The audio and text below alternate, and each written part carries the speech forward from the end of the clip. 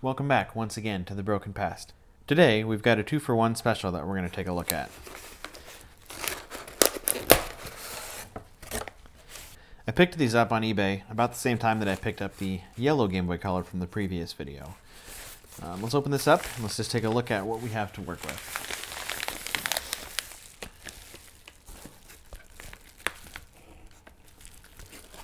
So as we can see this time, we have two of the Atomic Purple Game Boy Colors.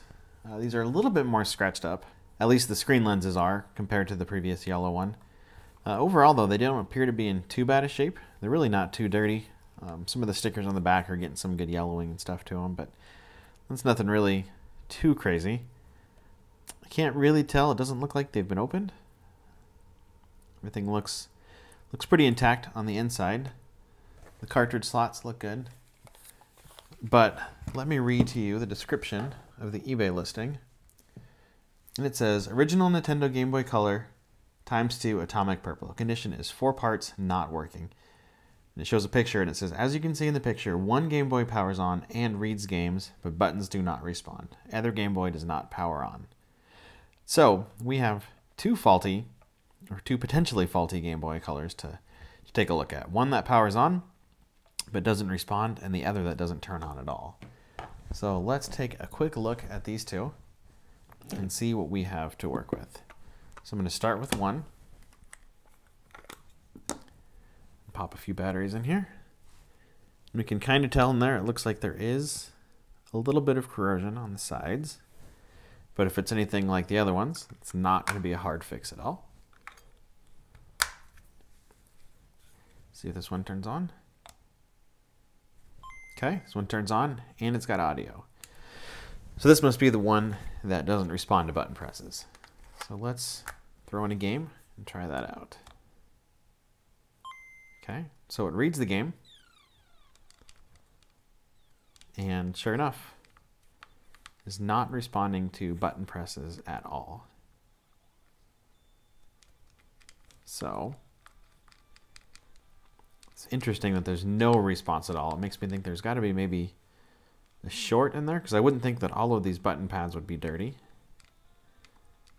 So I would think that maybe it's one of these buttons is accidentally being held down or thinking it's being held down. So that one's interesting. We will have to take a look at that one. Let's take the game out.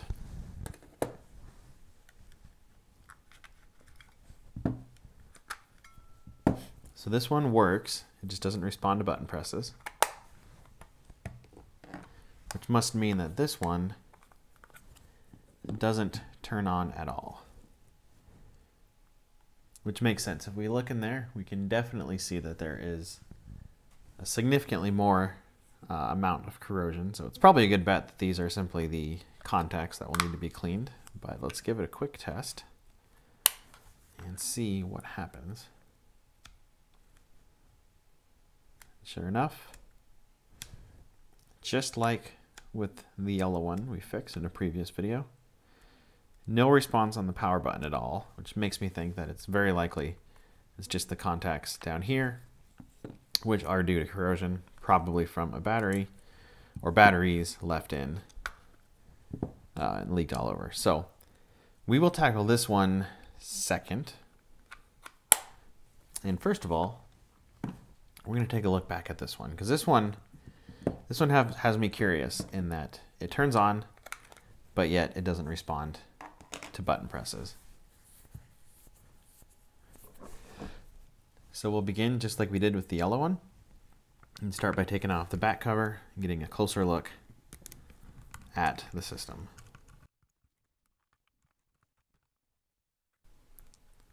So it's a tight fit almost feels like there's something partially holding it down. I don't know if that's what that was.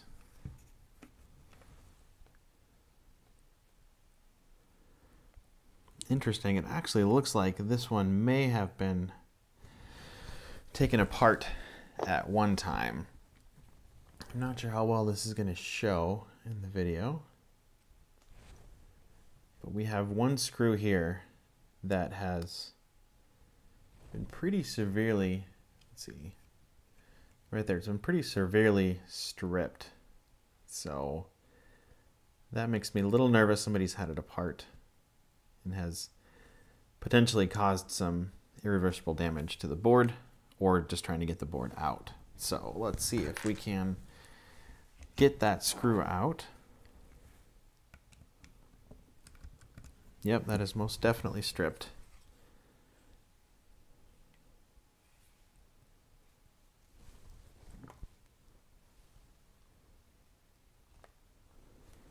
And if I were to compare that to this other one, there's also quite a bit of green showing through that silk screen on the front. So I'm really curious what's going on here. I wonder if we can get that out with a larger flathead bit here.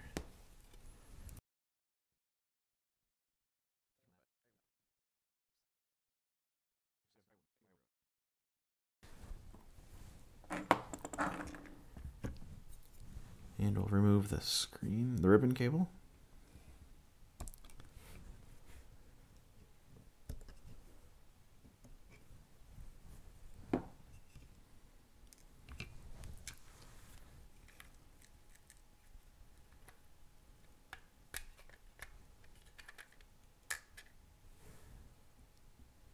Let's take a look at what we have to work with. Oh, yeah. Oh, wow. Definitely have some corrosion issues going on here. can clearly see that there's a good amount of corrosion going on on the start and select pads as well as the A and the B button. Definitely got a lot of blue going on in there. That will be curious on how well we might be able to get that cleaned off. I'm going to start with just a little bit of isopropyl alcohol. I'd like to get both of these fixed. Ultimately, if I need to, I can combine these two into a single one, but I'd like to have both of them fixed because I would like down the road to backlight one of these as well as leaving one of them original as well, as much stock as I can. There's a lot of some corrosion in the back too on the on the headphone jack.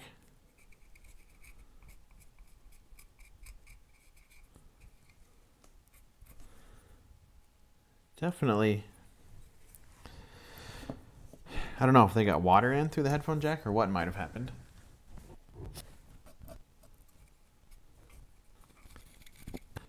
Okay, well we also lost our speaker cables. Looks like we'll have to solder those back on. Just gonna hit these pads here real fast. This isn't gonna fix it entirely, but I wanted to see if this is at least enough to make some contact on here. I'm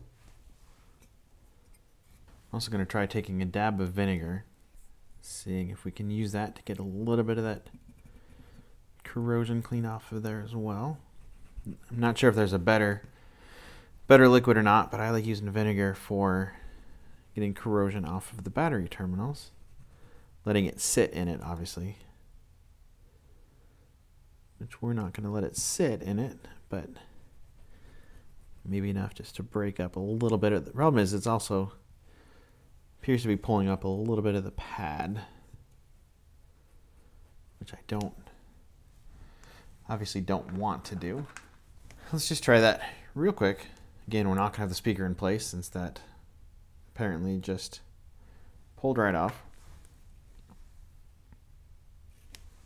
which appears to be due to this heavy corrosion on the side. So we'll have to solder those back in, but we don't need that just to test it out. We've got it all over the board. We've got a bunch, some of it up here in the corner as well. This board will definitely need a good cleaning. But we'll try just to see if that's enough to make it work.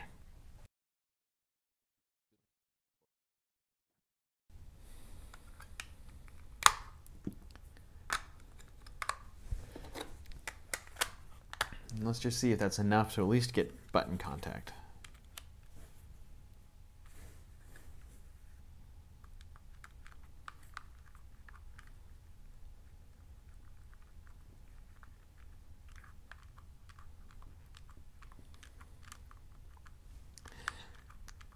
And still nothing on this one. All right, so we're going to pause on this one for now and actually turn our attention to the other one and start taking a look at that one. Set this one off to the side for a little while. And let's take a look at this one that doesn't even boot at all. We can already see what appears to be a little bit of corrosion on these batteries. I'm sure this is not going to focus on here. Maybe it will. There's some blue right on right on the inside of the head of that screw. So this one may also have suffered from some water damage.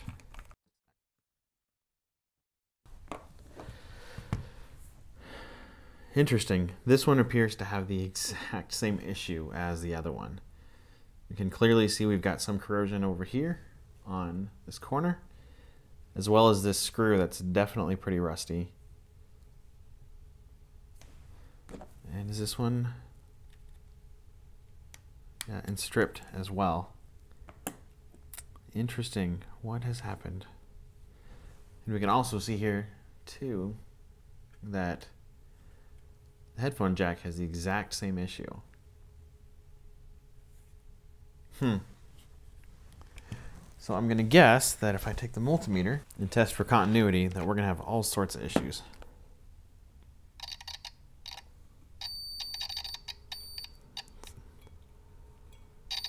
So that one's actually good. It appears to have a good connection.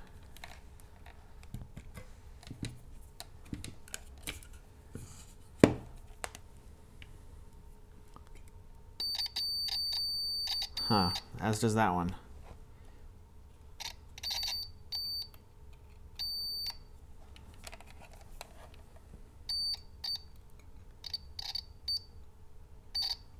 This one here appears to be a bit spotty. I'm going to take a quick toothbrush and give a good scrubbing to those really quickly. I grabbed a toothbrush and tried to scrub in both of these battery terminals, both on the back cover as well as the ones on the board. Just real fast without taking it all apart, just to see if that's going to make a difference. So real quick, I'll just drop this back in, throw the batteries in it again, and see if that made any difference at all. I'm going to guess probably not, based on what we're seeing in there.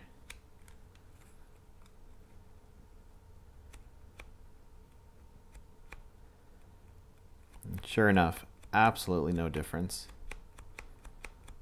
at all. So just for curiosity's sake, we have our fuse here. And let's see if this tests good.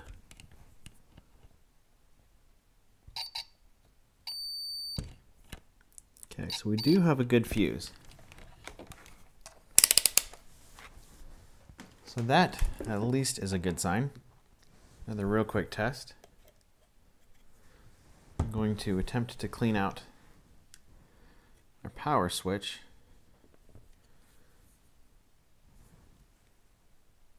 Which we can also see, again, I don't know how well it's going to show up in the video, it's in focus or not, but it also has a significant amount of corrosion underneath of it, which makes me believe that it's also corroded inside of the switch. So I'm starting to get the feeling that this is more than just your usual battery corrosion like we saw on the previous Game Boy Color. So let's just try this really quick.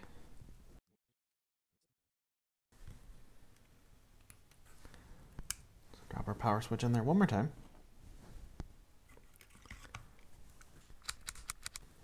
Our batteries in. And let's see.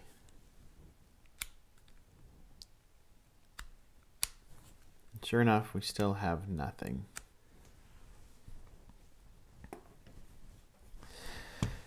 So out of curiosity, let's also take this board out, see if we can use our flathead again to try to get this nasty screw out of there. There we go.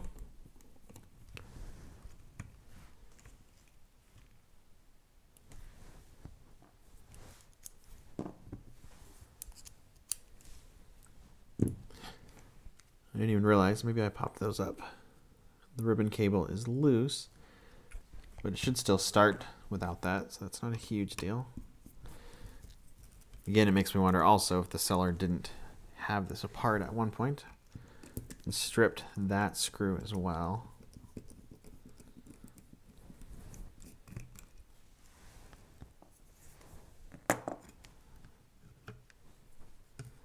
Yeah, definitely does not feel good.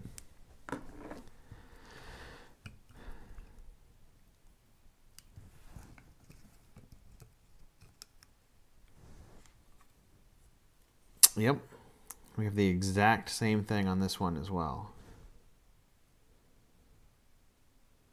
We also have pretty extensive corrosion on the same same buttons. This whole side here is actually pretty corroded, as well as this big old battery terminal plate here, and everything down here, and even the start button. Everything is awfully corroded on this even all the way on this side. So I'm starting to suspect that it's interesting. This is even white on here. Oh wow. That screen is also awfully wet. So I'm beginning to think that based on the consistent points of wetness, I guess, on both of these consoles, that I wonder if these were sitting in a box or sitting on a shelf from a cellar or something somewhere. You know, maybe like this, and then it flooded, and this whole side ended up getting flooded with water.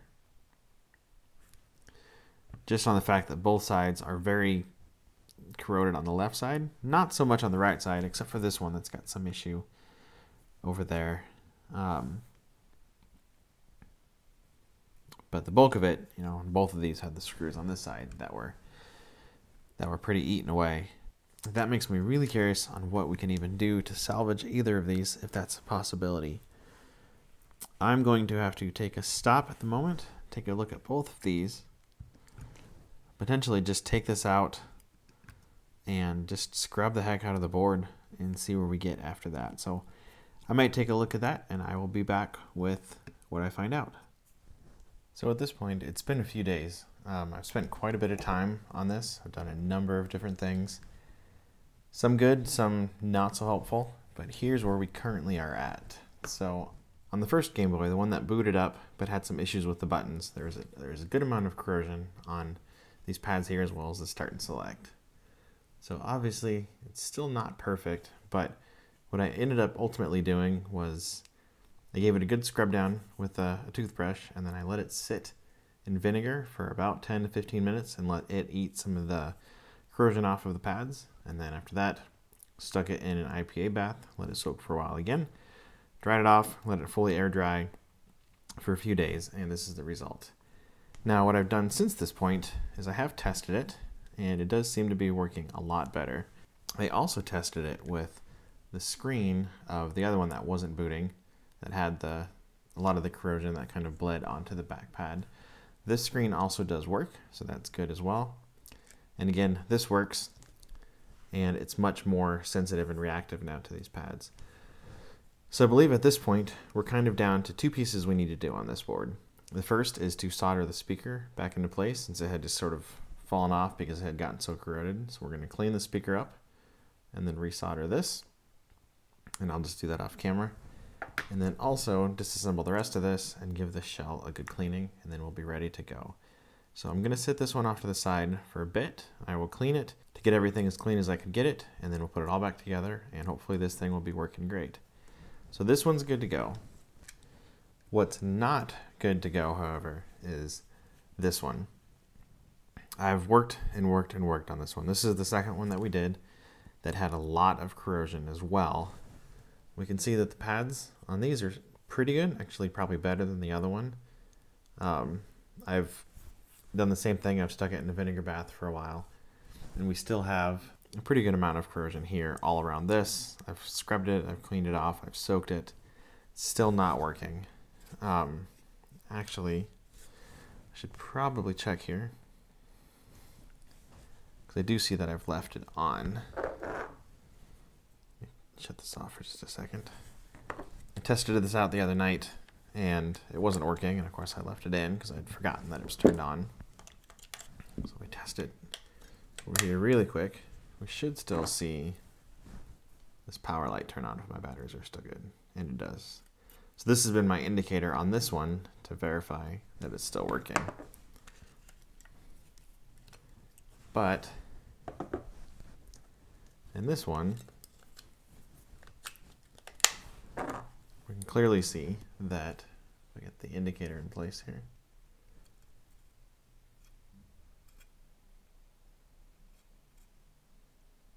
That we have absolutely no lights. So I don't know what to do on this one at this point. I've also tested both fuses, which I can pull out here.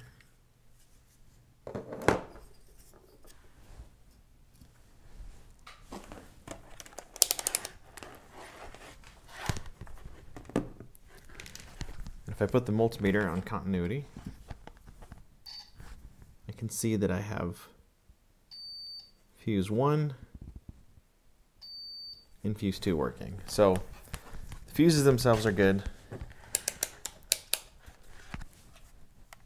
But I have noticed that if I attempt to test continuity on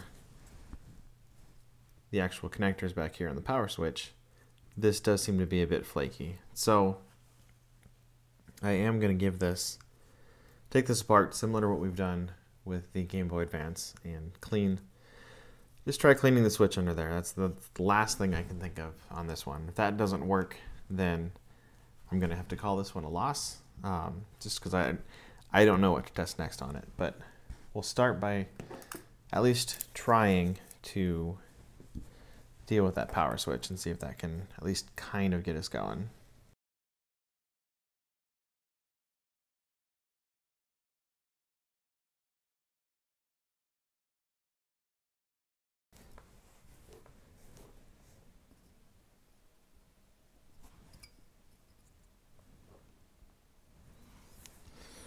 Yeah, so we can definitely see now.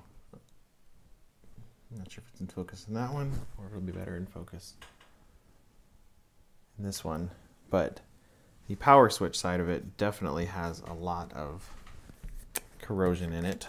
So I'm to try to use Q-tip to see if we can't get this cleaned up enough.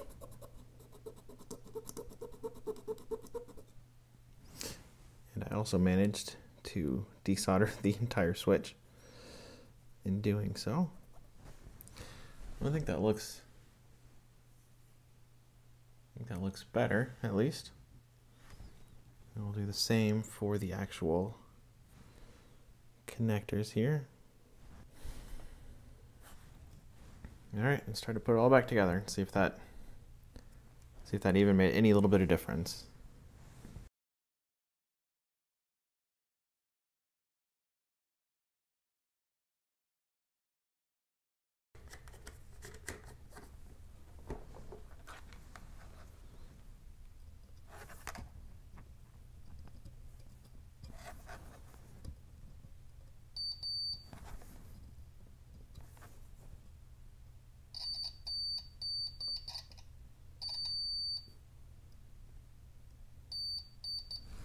That's much more promising. So definitely didn't do the greatest job uh, cleaning that switch, but it's at least being responsive, which is better than I could have said before. After doing that, let's just try it out, see if it makes a difference. At this point, I'm not holding out a lot of hope. Um, if this doesn't work, I don't know what to do beyond this point, but we'll try it out just to see what it does.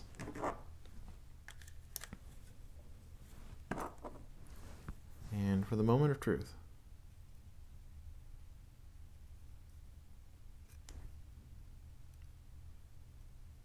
Still nothing. Get this on video. I should be able to check my voltage across the two battery terminals here. I can see that I have voltage. So the batteries are at least making contact throughout all the connectors.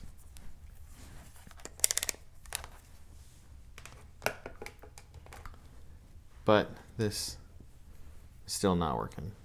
So at this point, I think I'm going to call this one a loss. Um, I don't know what is wrong, but there's nothing more I think I can do on this one. So if you have any suggestions on what I should do next on this, please leave them in the comments below. Um, I'm stumped, so I would definitely appreciate any ideas that you have in order to see if we can get this working.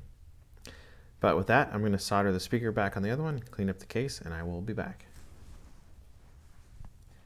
All right, so at this point, everything's been cleaned, washed up and dried, and ready to be put back together. So let's go through that real fast, and we'll see what we have when we're all done.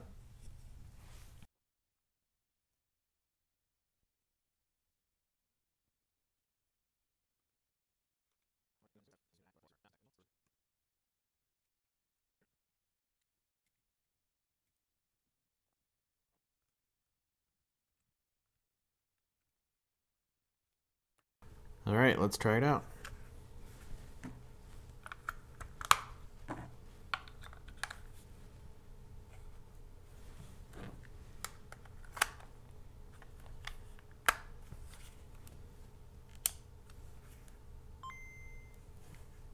So we got sound.